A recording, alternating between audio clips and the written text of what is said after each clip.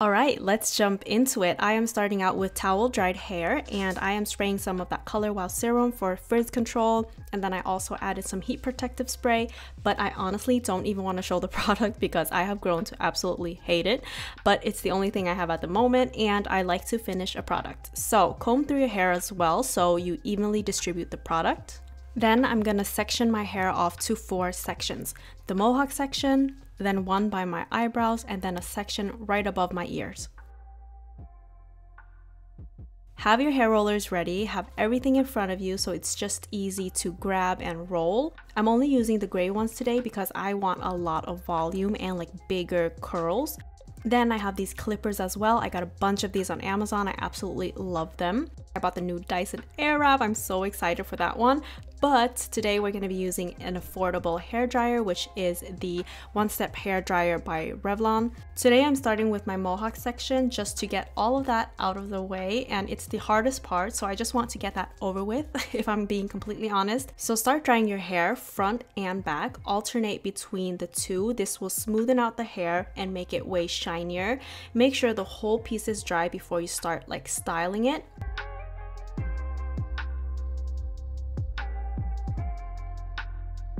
Then for the styling part, place the tool behind the piece of hair and slowly roll it backwards. And then roll it down, let it sit there for a few seconds, and then roll it out like this. Thank God we have a visual, guys. Then quickly get your hair roller. I like to comb the section out with the roller so that it's nice and smooth. Then I roll it down in a diagonal direction. This will give you the most volume at the crown of your head.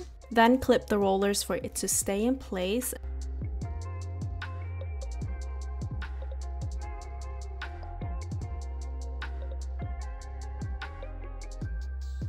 Now I'm going to be redoing that onto the middle part. I always turn the device off while I put the rollers in, of course. I just want to put that in there in case anyone wonders. I'm only using the second setting, which is the warm setting. Do not, I repeat, do not use the third setting. That is way too hot and too intense and it's unnecessary in my opinion.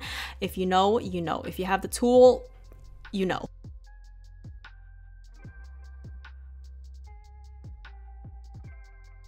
Now same thing here with the bang section, the most important piece throughout this process, no pressure. Dry it front, back, and even side to side. That will get rid of this awkward split in the middle that can sometimes make your bangs look a little bit uneven when you style it.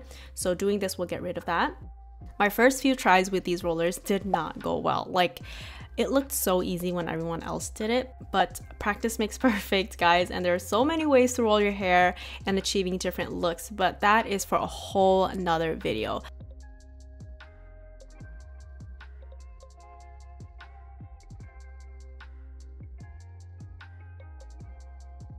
Now one thing to note is that you shouldn't place your clips in front like this because that will make the piece crease.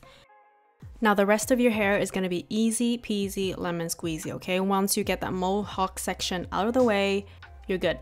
your arms won't get tired at least. So brushing through the hair as per usual and then I'm going to style the piece inwards towards my face.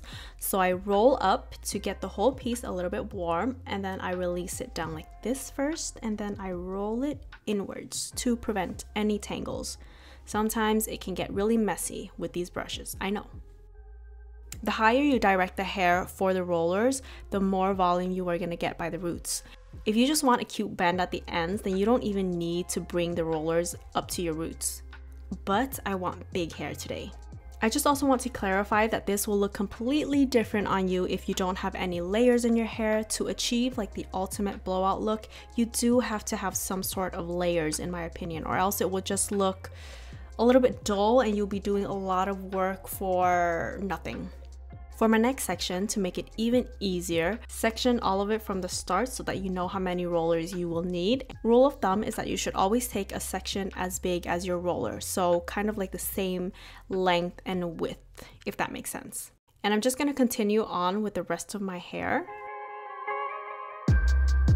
East Coast, always in me. Commonwealth, Lil Joe, getting love from my city. I roll call for the DMV. In my own lane, you could still ride with me. Lord knows I made mistakes. You want in, but it's too late. I don't need your support just to know I'm important. I will never sell myself short, cause I know you see me on the come up. Big girl with big dreams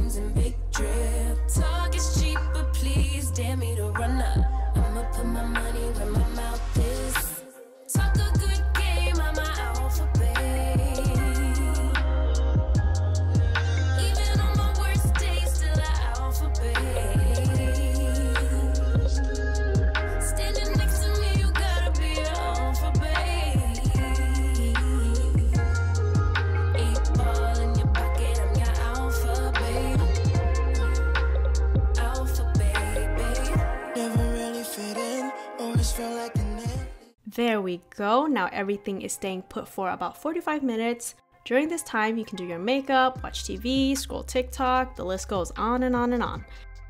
Now I'm back and I also changed just for you. Now taking these rollers out very gently like this and then kind of roll it at the ends just to brush them out so that they look nice and smooth.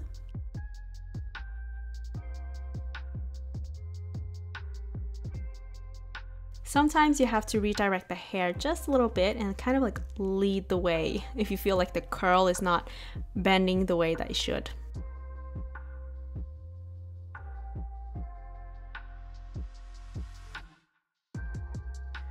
Oh, look at that volume. Oh my god, I got excited.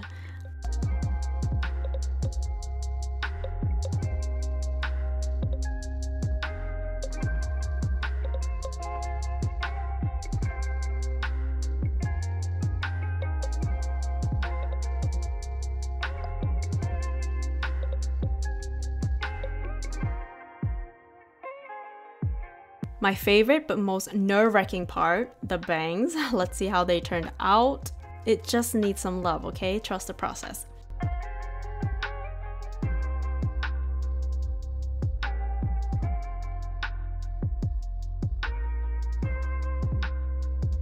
Then grab a hairbrush and gently brush everything out until you get the results that you want. Play around with it and let it truly set.